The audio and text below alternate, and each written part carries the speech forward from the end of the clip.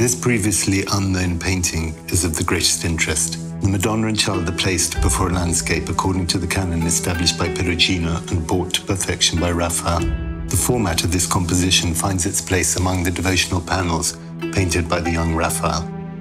The child's pose with his left arm resting against his mother and interrupting the linear curve of the robe's neckline is reminiscent of that of the child in the small Talpa Madonna in the National Gallery of Art in Washington. Although reversed here, the Madonna's pose with her knees at the center of the composition is also similar.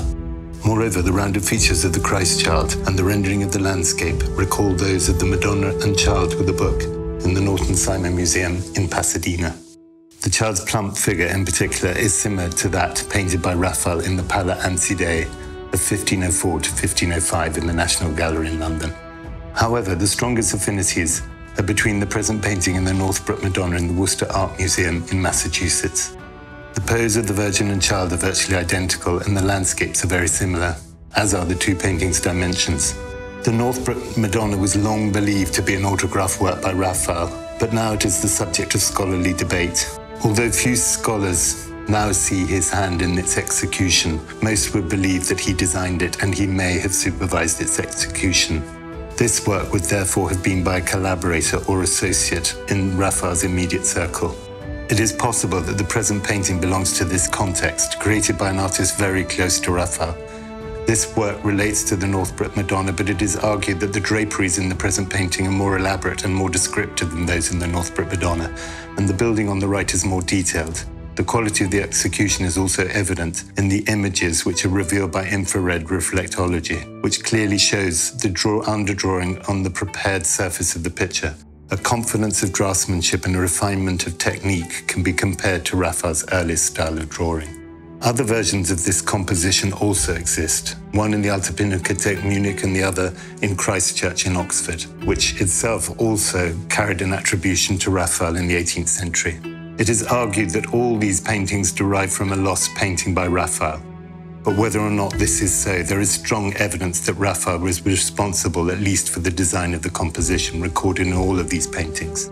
There is a drawing of vintages in the Ashmolean Museum in Oxford, and on the reverse, there is a preparatory study for the child, which is extremely similar to the child in the present composition. Nevertheless, it should be noted that attentive earlier dating of this present painting has been suggested. While most scholars would date this work to the early 16th century, an alternative dating of the 1490s has been suggested, and it has been cautiously argued that Raphael may in part be partially responsible for the authorship of this work. The delicacy of the Virgin's features, the oval form of her head, and the gracefulness of her pose as she holds the standing baby in her lap have also been compared to early works by Raphael, including the Solly Madonna and the Diotalevi Madonna in the Gemälde Galerie in Berlin. The sharp angle and the lifting of the head of the Christ child and his facial features in the present painting can be compared to those of the Christ child seating in the Madonna's lap in the Diotalevi Madonna in particular. A technical report also displays the impressive painterly quality found in the uses of glazes and the care taken in the creation of shadows. A magnesium containing glass powder is significant as this was used by Giovanni Santi, Raphael's father, and later by Perugino. The present painting was once in the collection of the Swiss noblewoman and artist Adèle d'Affry. Adèle d'Affry was born in Fribourg into an aristocratic family, and her career developed in Paris during the empire of Napoleon III. She chose the pseudonym of Marcello for her debut at the Salon of 1863 to disguise her identity.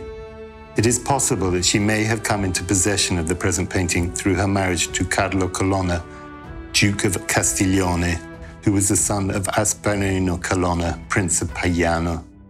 The possibility that the young Raphael worked on the present painting should be taken into consideration.